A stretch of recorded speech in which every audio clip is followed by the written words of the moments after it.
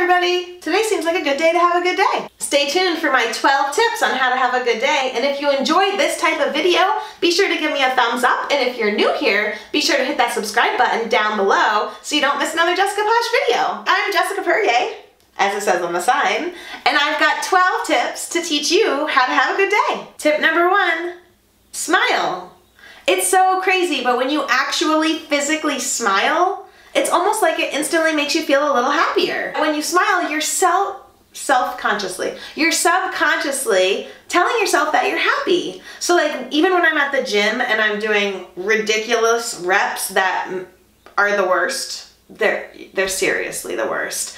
I will smile to fool my body into thinking that I like it. Instead of grimacing, I smile. What a big difference a smile can make to not only ourselves but to somebody else. Uh-huh. I know, isn't that crazy? Tip number two is call a friend. I don't know about you, but talking to a friend always makes me a little bit more happy. It really helps me have a good day. Tip number three is get off social media. I feel like that one probably doesn't require any additional explanation, but get off social media. I know because my business is very heavily rooted in social media, but it can be super draining and it certainly does not help you have a good day. But when you're on social media, you're looking at everybody's highlight reel. You're, you're comparing their highlight reel to your behind the scenes footage, right? I know I don't have a fabulous day every single day, but if you go on my social media, it sure does look that way. Do you ever get hungry for lunch? I bet your friend gets hungry for lunch too. Tip number four is to invite a friend to lunch. Hold up, wait a minute that does require you leaving your house. That's a hidden tip actually. So I'm combining tip number five as to have lunch with a friend or just plain get out into the world. I'm just gonna go put my salads back in the fridge now. Are you maybe spending the day working today? Keep a list, keep an actual note of all of your accomplishments that you've done today. Whether it's something for your personal life or something for your family or even something for your boss, it's still something that you accomplished. Write it down. Seeing all of our accomplishments actually written down, it feels really good, right? Good enough to have a good day? I think so. Okay, tip number six, and one of my most favorite, perform a random act of kindness. But Jessica, what's a random act of kindness? It's literally just doing something nice. So let's think of some different random acts of kindness. You could pop a happy note in the mail to somebody. It could be on just a plain piece of paper, it could be on a cute note card, whatever. Hey girl, I hope you're having a fabulous day. I'm thinking of you. Remember that time when blah blah blah. I hope this note makes you smile. Love Jessica. Hold the door open for somebody. That's a random act of kindness. You see a disheveled mom with two kids in tow trying to get her groceries taken care of while one of them's screaming and the other one's starving. Who knows? I don't know. I don't have kids. Let her go in front of you in line.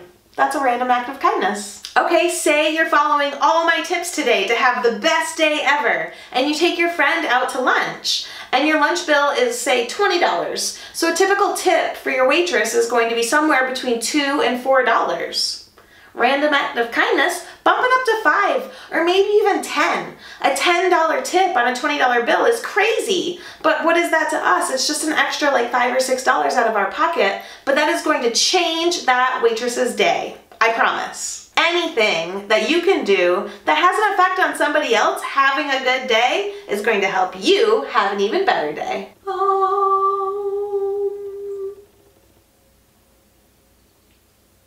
I'm not the best meditator in the world, but I will tell you that practicing meditation will absolutely have a positive impact on your day. I am still trying to include it in my regular everyday life. I am not the meditating type. That's why I'm giving you 12 tips. So even if you're not the meditating type, you've got some other ideas from me. Okay, this one I actually practice quite a bit. What number tip are we on? Okay, I'm getting long-winded.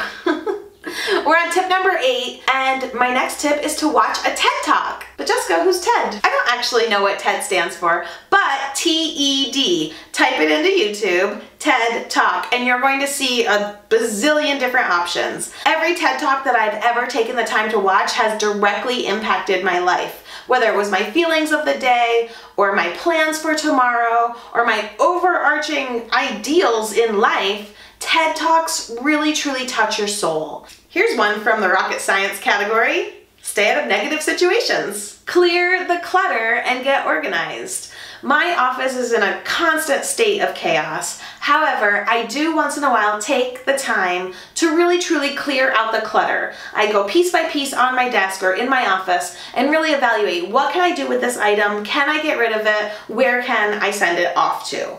Clear the clutter and get organized. It's going to help you have a much better day, whether it's in your office or on your bedside table or at your desk at work, whatever. Clear that clutter. When you clear the clutter, it clears the mind. Tip number 11 that I live true and true every single day, make a to-do list. Much like I talked about earlier where you're making a list of all your accomplishments, sit down and really brain dump your to-do list. What do you need to do? Whether it's pick up dry cleaning, make dinner, um, order paper towels from Amazon, whatever, whatever it is, no matter how big or small, put it on a to-do list.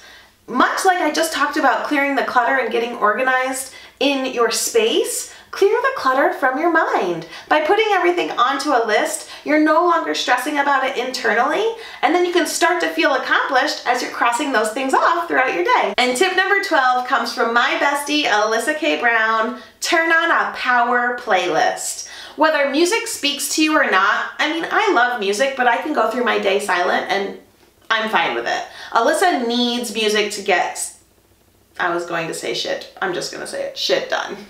on the mornings that I turn on my power playlist, like the songs that really just get me going, I am super like more productive. It's it's kind of weird how that happens. So those are my top 12 tips on how to have a good day. I hope that you put some of these into action and if you do, leave me a comment down below. Tell me about your good day and what really made it the best. Remember, if you enjoyed this video, be sure to give it a thumbs up and don't forget to hit that subscribe button so you don't miss another Jessica Posh video. Have a great day!